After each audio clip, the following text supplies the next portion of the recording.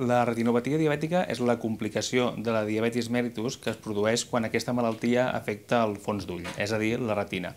En aquesta situació, els petits vasos sanguinis de la retina pateixen una sèrie de canvis, entre ells un augment de la permeabilitat, eh, produint sortida de líquid i de proteïnes dels vasos, mm, aparició d'hemorràgies en els vasos i en l'àrea circundant i, per últim, isquèmia vascular, és a dir, eh, oclusió d'aquests vasos que perden el rec sanguini. És una malaltia molt freqüent en el nostre mitjà lligat a l'altra prevalença de, de diabetis mellitus, precisament.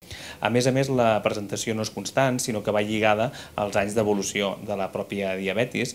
Per tant, per exemple, aquells pacients que porten més de 20 anys d'evolució de diabetis mellitus poden presentar per sobre del 70% retinopatia diabètica.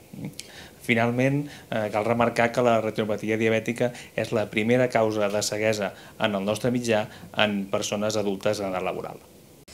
Els símptomes, en una gran majoria dels casos, no apareixen fins a fases ja molt més avançades. Al principi, el pacient pot no notar res i per això incidim que és molt important fer els controls, eh, però quan el pacient ho comença a notar, el que pot notar és pèrdua de visió i a vegades és en forma de eh, visió borrosa eh, o començar a perdre nitidesa i um, en alguns casos hi pot haver una pèrdua brusca de visió, que això ja és quan tenim fases avançades de la retinopatia diabètica. Els factors de risc de la retinopatia diabètica els podem dividir en aquells que són modificables i que, per tant, podem incidir i millorar, com és el sucre en sang alt. Un altre factor de risc important és els lípids augmentats, com és el colesterol o els triaciclicèrids.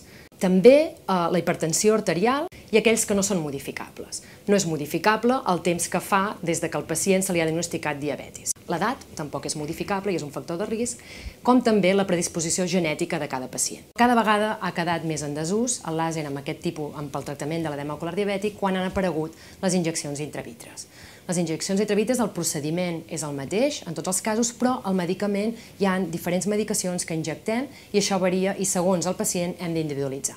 Pot anar des d'un tractament que s'injecta eh, un fàrmac que tenca els vasos i disminueix el líquid de, que s'ha creat a la màcula, i en alguns altres casos és un edema més inflamatori i el que injectem és un corticoide. Es pot retrasar l'aparició o prevenir les formes més greus de retinopatia diabètica duent un bon control de la diabetes mellitus.